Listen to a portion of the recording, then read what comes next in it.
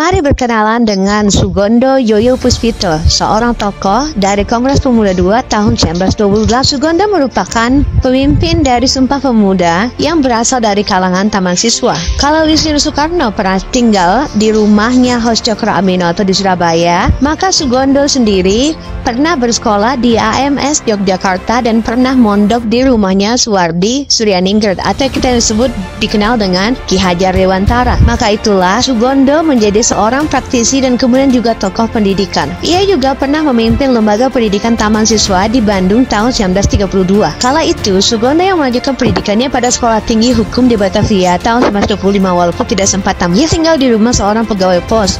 Karena ini, ia bisa mendapatkan majalah Indonesia Merdeka yang sebetulnya dilarang masuk ke Hindia Belanda. Wawasan kebangsaan Sugondo semakin terbuka setelah membaca terbitan per Perhimpunan di Indonesia di Belanda. Lah yang menggerakkan Sugondo untuk mendirikan Perhimpunan Pelajar-Pelajar Indonesia